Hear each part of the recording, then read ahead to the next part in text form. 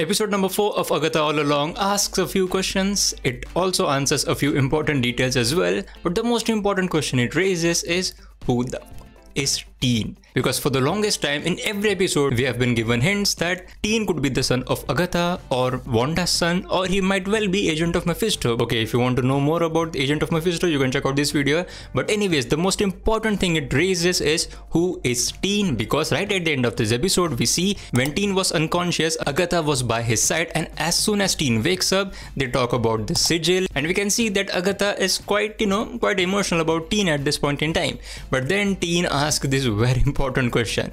And he says, Agatha, what happened to your son? And at that moment, we as an audience think, okay, he is not Agatha's son now. And even Agatha thinks that, right, he is not my son. And then she gets angry and then she walks off. And after this scene, right at the end of the episode, we see Rio walking up to Agatha. They kind of talk, they kind of rekindle more on that later. But anyways, at the end, Rio also confirms this, that that boy is not your son. And that again pisses Agatha off. But now my question to you is, what do you understand from these two scenes? These two scenes indicate that, of course, Teen is not Agatha's son, but what if? What if all this is just a misleading ploy planted by the writers? That means Teen is indeed Agatha's son. I mean, he may be Agatha's son, and I have a theory for that, but we'll discuss that theory at the end of this episode.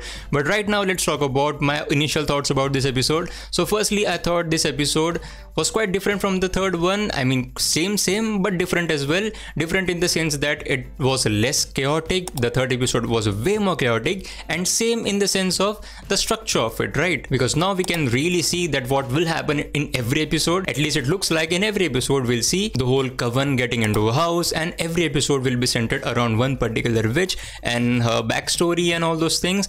And then at the end they'll definitely defeat the demon or curse that is in that house attached to that particular witch. And at the end everything will be good Maybe not, but yeah, that will be the general structure of all these episodes. And I'm also liking how casually they are defeating the villains because they are really not using all the cliched ways of fighting the curse or fighting the villains. They are doing this quite casually, quite fun, quite humorous way because in this episode we see they used a music number they used a music number to use the protective spell and yeah it was interesting. I mean it's not cliched and it, they are not overdoing it but we can see that this is the theme of the show. The theme is mm, partly funny partly humorous a bit spooky and i'm admiring it because it is not using all the cliche tropes that we are so fed up of seeing in every superhero thing that we see. Anyways, we also got a confirmation on the relationship of Agatha and Rio as well.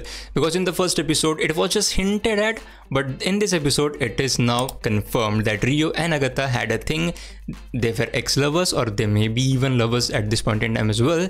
But yeah, they had a history and they were kind of rekindling in this episode. Now let's talk about the theory that I mentioned earlier. So the way I think of it is that all the dialogue surrounding Teen not being Agatha's son in this episode is actually a misleading information and the real thing is Teen is indeed Agatha's son, biological son. That means physically he is her son, but mentally he is not. He might well be brainwashed and that is the reason why even Teen doesn't know that he is the son of Agatha, but Agatha knows that he is her son because you don't have to know a person's name to know who they are. Now this line clearly hints us at that Agatha knows Teen is her son, but the way Teen says this line, What really happened to your son? It really pissed Agatha off and yeah, rightfully so. She is really pissed at Rio as well for confirming that thing. That boy isn't yours.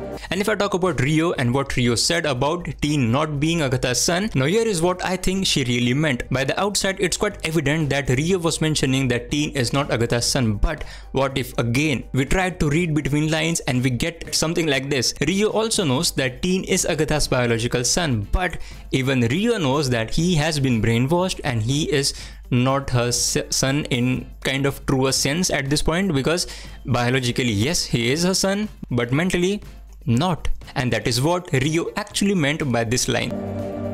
That boy isn't yours. And all of this conversation about Rio not being Agatha's son was actually just a tactic used by the writers to make us believe, make us audience believe that Teen is not really Agatha's son. I hope I didn't confuse you. Anyways, let's recap it quickly. By this dialogue, What really happened to your son?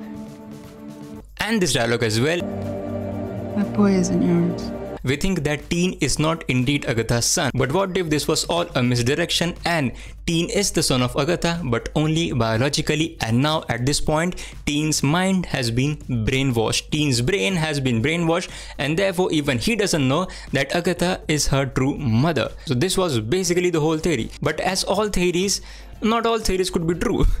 Therefore, we really can't discount the fact that Teen could might well be Wanda's son as well, and not Agatha's son. But by all this, we have to admire the writers because they are doing a really good job of just creating this mystery and just developing this mystery episode by episode about the true identity of And that's all for this episode. Please do tell me in the comments what do you think about this episode. And please, if you like this video, please check out other videos on my channel as well. And if you like those as well, consider subscribing the channel because it helps a lot. Because it helps a lot. And as always, thank you so much for watching.